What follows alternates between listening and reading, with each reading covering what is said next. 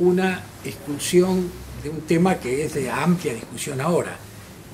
El tema de género, que si vamos a las discusiones políticas actuales, este, independientemente de que yo lo comparto o no, hay un planteo de, por ejemplo, en los sectores eh, feministas más radicalizados, del patriarcalismo casi como, digamos, este, conducción, para decirlo en términos peronistas, del capitalismo. Eh, independientemente de que eso sea cierto o no, los temas de género, los temas regionales eh, y, y, los temas de otro tipo de movimientos sociales y culturales tienen un peso notable. Por eso la noción de populismo, digamos desarrollada de lo popular, me parece que comprende todos estos temas, siendo que yo también defiendo a la manera clásica aquello que se decía siempre, en última instancia, pero esa última instancia está también hoy atravesada de una manera muy fuerte por estos, por estos temas. Fíjense, no solo el movimiento feminista está muy presente entre nosotros, pero también los problemas regionales. Eh, fíjense, el otro día cuando ganó la elección Schiaretti en Córdoba, habló del cordobesismo, pero en medio lo mandó para atrás, de vuelta, ¿no? porque dijo que en realidad eso es la Argentina profunda, volviendo a temas casi de los 70, ¿no?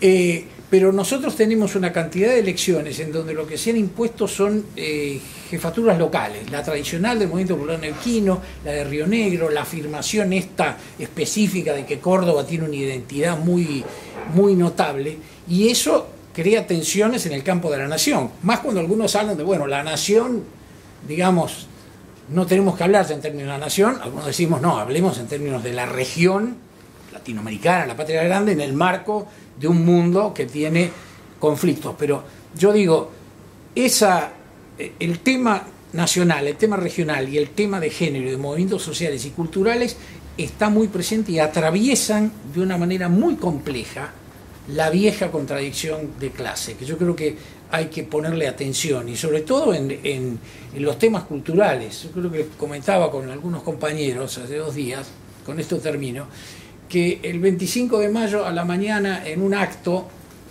que se hizo en la calle, una lentejeada, en, en Buedo había 500 personas, fue un acto popular, terminó hablando Tomada y este Recalde, y la animación cultural fue hecha con diversos conjuntos folclóricos que lo hicieron bien, muy tradicionales, ¿no? Eran, digamos, chalchaleros o prechalchaleros, ¿no? no había un toque Liliana Herrero ahí. Pero yo a la noche fui a, una, a un lugar este, donde había 50 personas y donde se expresaba el rock de ultravanguardia de Lisa Casullo, la hija de Nicolás. Y dije, bueno, la Argentina tiene, ¿qué, ¿qué, cosa es Argentina? Acá son las dos cosas, pero ¿cómo, ¿cómo funciona? Bueno, ahí hay un problema que tenemos que conectar con lo político y con la existente lucha de clases que vimos que se dio el 29 con ese paro nacional. Yo quería agregar que